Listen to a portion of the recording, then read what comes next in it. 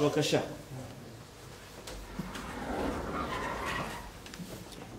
אדוני מלך,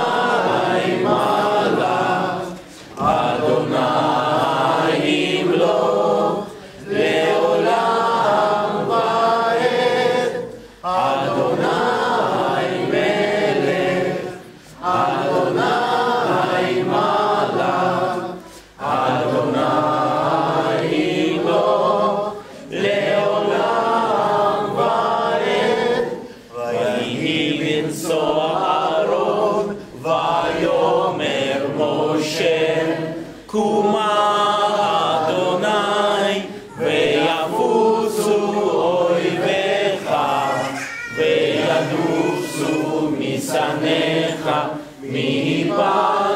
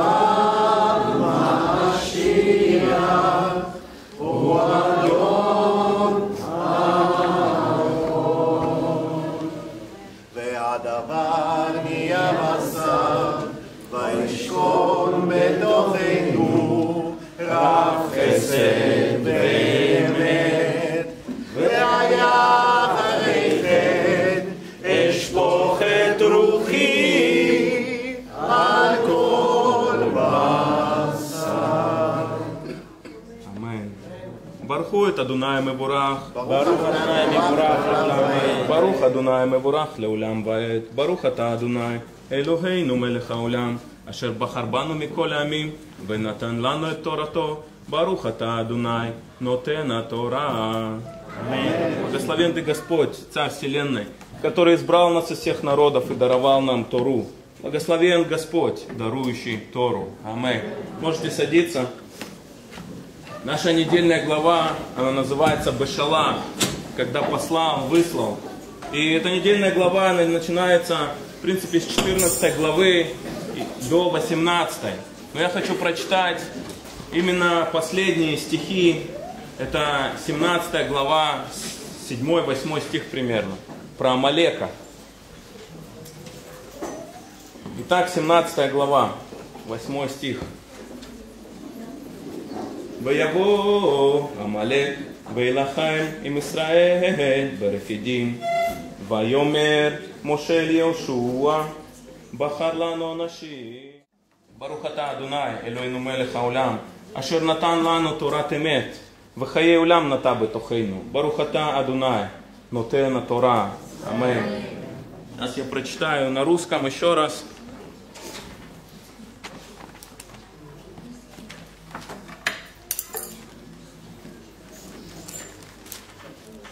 Итак, книга Исход, 17 глава, с 8 стиха. «И пришли амаликитяне, воевали с израильтянами в Рефидиме.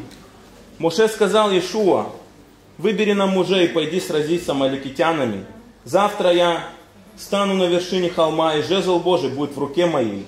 И сделал Йошуа, как сказал ему Моше, и пошел сразиться с амаликитянами. А Моше и Аарон и Хур зашли на вершину холма. И когда Моше поднимал руки свои, одолевал Израиль, а когда опускал руки свои, одолевал Амалик. Но руки Моисея Моше отяжелели, и тогда взяли камень и подложили под ноги его. И он сел на нем, а Аарон же и Ор поддерживали руки его, один с одной, а другой с другой стороны. И были руки его подняты до захождения солнца. И не сложил Ишуа Амалеки, Амалека и народ его острием меча. И сказал Господь Моше, напиши сие для памяти в книгу и внуши Ишуа, что я совершенно изглажу память Амалик Китян из Поднебесной. И устроил Моше жертвенник и нарек имя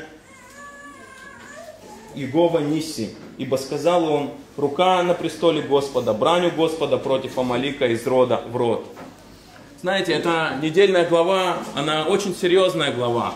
И я хочу вначале вкратце очень отписать, какие события здесь происходят. То есть Израиль, он выходит из Египта. Они проходят Красное море, проходят его, приходят в пустыню, им нечего пить, нет воды, приходят в город, который они назвали Мара, от слова горький. И там происходит чудо, что вода становится сладкой. После этого они опять дальше идут, им нечего есть. Бог посылает им манну с неба, дает им мясо, птиц особенных. После этого опять нету воды, они просят, и Моше дает им воду из скалы. Но все время Израиль ропчет. И вот в самый последний момент, когда они выходят с города, который называется Рефидим на русском, то на них нападают амаликитяне, начинают бить и уничтожать Израиль. И происходит война, и также чудо, и Бог помогает. Израиль побеждает. Вот эти вот все вещи, они очень сильно говорят нам, это можно сказать даже басис, база, на которой строится наша вера. И вся вот эта недельная глава, она говорит о вере. И я специально начал читать именно с самого конца. Почему вдруг Бог относится к Амалику таким серьезным образом? Почему Он хочет изгладить его полностью из Поднебесной, из Израиля, вообще вывести его из, из жизни? Такое сильное наказание ему. Знаете, Мидраж говорит, что когда Израиль шел, они шли по этой пустыне, то облако, оно покрывало, была защита над Израилем. Но народ, он был большой, многочисленный. И некоторые отставали из-за того, что они были слабы. Они отставали и выходили и вот из этого Божьего присутствия. И амаликитяне, они подходили сзади и добивали вот этих вот отставших. И разбрасывали их тела по воздуху и говорили и проклинали Израиль. То есть это Мидраш так рассказывает. Как там было на самом деле, мы точно не знаем. Но Бог просто проклинает весь этот народ. Что такое Амалек? Как именно он здесь вообще привязан? Знаете, Амалек, он был правнуком, то есть он был из последников Исава. У Исава своего рода в какой-то момент, вы помните, против Иакова была большая ненависть. И здесь не раз Леон и другие проповедники, когда говорили, есть что-то, что передается по генам. То есть все время мы говорили про Израиль, как через гены Авраама, Ицхака передавалась вера.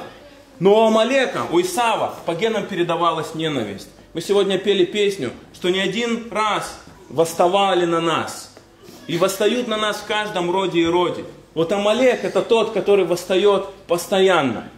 С ним сражаешься, его убиваешь, но он восстает вновь и вновь, из поколения в поколение. Это ненависть, она продвигается по генам, и восстает то один царь, то второй, который пытается истребить. Это был Исаф, который хотел убить Иакова. Потом это был этот сам Амалек, его внук, который хотел убить Израиль. После этого мы слышали даже о Амане, который также был потомком Амалека. И вот эта ненависть, которая живет внутри которая пытается зарубить Израиль, но Бог помогает ему. И знаете, что самое интересное, что есть такая теория, вы слышали про гематрию. Слово Амалек, оно равно значению 240. Тому же значению слова сафек. Сафек – это сомнение. Сафек – это то, что полностью противоположно вере. И если вы посмотрите, вот это вот место, в котором они находились, оно имеет большое значение. Оно называется Рефидим. На иврите оно состоит из двух слов. Репу, ядай. Ослабели руки их. Они расслабились. Они распустили свои руки, и не было в них силы, чтобы воевать. Ихняя вера ослабла. И именно в этот момент, когда приходит слабость, когда приходит сомнение, человек наибольшим образом становится быть подвержен атакам врага, подвержен атакам Амалека, который приходит, чтобы зарубить тебя. Когда твои руки ослабевают, когда твоя вера падает, когда сомнение вкрадывается в твое сердце, начинает что-то происходить. Вот она вера. Знаете, я думаю, что многие из нас, мы не раз слышали о вере. Как-то Саша проповедовал про Бога, что можно Его знать, можно знать о Нем, можно в Него верить. Но здесь речь идет о другого уровня веры. Здесь с самого начала, как только они выходят из Египта, речь идет о вере намного больше. Я думаю, многие слова, которые сейчас я зачитаю, некоторые слова, некоторый стих, он может будет даже сегодня для некоторых из вас сильной поддержкой или укреплением. Представьте, как Израиль, он выходит. Они идут, сами не зная куда, но они с доверием вначале идут за Господом, пока не начинаются на пути им вставать разные препятствия. И что интересно, я хочу прочитать 14, стих, 14 главу 14 глава, 14 стих. Они подходят к морю, и они видят, что бежать им некуда. Что Мицраем, Мицрием, египтяне, они вот-вот атакуют их и всех перебьют. Они начинают жаловаться Моше, кричать к Богу, что же нам делать? И Бог отвечает, Господь будет поработать за вас, а вы будете спокойны. И сказал Господь Моисею, что ты вопиешь ко мне? скажи сынам Израилю, чтобы они шли. А ты подними жезл твой, и простри руку твою на море, и раздели его, и пройдут сыны Израилевы среди моря по суше. Вот она вера, вера другого уровня. Может быть, некоторые из вас сегодня находитесь в какой-то трудной ситуации, и вызываете к Богу, вы молитесь, Господь, покажи мне путь, укрепи меня, покажи, что мне делать, я не знаю, как мне двигаться. И Господь говорит тебе сегодня, что ты вопиешь ко мне? Продолжай идти. Пока говорят, что весь Израиль не вошел в море, море не расступилось. Представьте, какое количество народу там было. И вот пока они все не сделали этот шаг веры, вошли в море, море не расступилось. Господь говорит тебе сегодня, продолжай идти. Молитва не поможет тебе в этот раз. Этого недостаточно. Нужно что-то более того. Не просто взывать, не просто кричать ко мне, а начни двигаться. Начни двигаться в вере, доверяя мне. С самого начала здесь мы видим, вот она вера. Господь хочет научить нас, чтобы мы могли двигаться вот с такой вот верой. Когда ты идешь, не зная куда, но с доверием ты начинаешь двигаться вперед. И тогда море, оно открывается перед тобой. Тогда твои руки будут крепнуть. Когда Амалек приходит, чтобы поразить тебя, в твой момент, когда ты расслабился, в тот момент, когда ты получил сомнение в твое сердце, ты вдруг не слышишь, что Бог тебе отвечает. Потому что двигаться нужно. Сомнения начинают приходить. Может быть, я делаю не то, что надо. Может быть, мне стоит отвернуться назад. Но знаете, здесь стихи очень особенные. Я возвращаюсь к тому, что я читал в начале. Написано, и были руки Муше, когда он держал, и когда победа была поднята до захождения солнца. На иврите стоит совсем другое значение. Там написано, и были его руки верою. И были его руки верою. Когда есть этот момент, только вера может дать победу. Только вера может протолкнуть тебя вперед. Вера с полным доверием полностью положиться на Него, несмотря ни на что, несмотря на то, что ты не видишь никаких ответов. Пойди, сделай этот шаг вперед, и Господь будет бороться за тебя. Боже, я благодарю Тебя за это слово. И я прошу нас, прошу Тебя, чтобы Ты научил нас двигаться вперед. Мы молимся, мы взываем к Тебе, но очень часто мы боимся сделать шаг. Мы пытаемся быть уверенными, а уверенности этой нету потому что ты хочешь, чтобы мы доверяли тебе, а не держали в руках эту ситуацию, Господь. Я прошу, научи каждого из нас, чтобы наша вера, она окрепла, чтобы наша вера с поднятыми руками к Тебе и с шагами вперед, входя в это море, могла раздвигать его. Чтобы твои ответы мы увидели твою руку. Что ты тот, который борешься за нас. Что ты тот, который разрешаешь всякую ситуацию. Мы благодарим Тебя за то, что в Иешуа Ты дал нам эту победу. За то, что мы имеем ходатая, который сидит рядом и ходатайствует за нас. И помогает и направляет. Мы благодарим Тебя, Боже, во имя Иешуа. Аминь. Спасибо, Дима. Отличное слово сказал. Знаете, э, есть несколько вещей, которые могут стимулировать нашу веру. Можно зажечь веточку, она догорает очень быстро и все. Когда ты набрасываешь этих веточек целую гору, и получается большой огонь, то и большой жар исходит. Кигила, община – это вера. Когда мы вместе соединяемся и стоим перед Богом, возможно, между нами целая куча маленьких несогласий. Но это не имеет значения.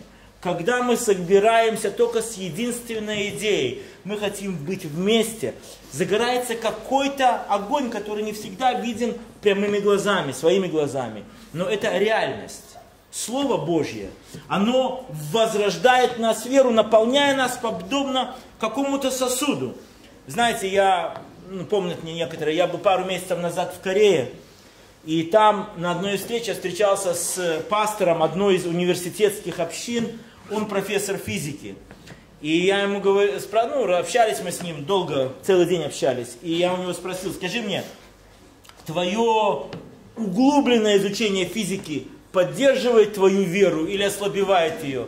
Он сказал, знаете, кто лучше, чем физики знают, что не всегда один плюс один равно двум. Он говорит, иногда один плюс один в физике, когда накладываются волны одна на другую, оно может равняться нулю. А иногда один плюс один может равняться десяткам тысяч. Это как раз та Библия, что когда в нас есть вера, там написано, падут подле тебя тысяча, и одесную тебя десять тысяч. Двое станут и защитят. Дима сказал, что вдруг включается какая-то странная внутри вера. Уверен, что большинство из нас, большинство из нас хотя бы раз в жизни переживали такие моменты, когда вера просто выносила тебя. Ты не шел по воде, но как будто летел по воде. Знаете, если мы стабилизируем, утверждаем нашу веру, это помогает нам. Я очень рад слову, которое Дима сказал. Давайте мы сейчас все станем, мы берем свитки и продолжим собрание.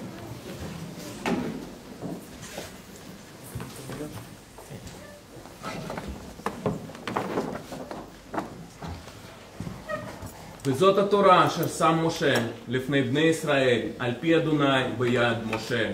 Аминь. Вот Тора, которую Моше передал народу Израилеву по Божьему повелению через Моше. Аминь.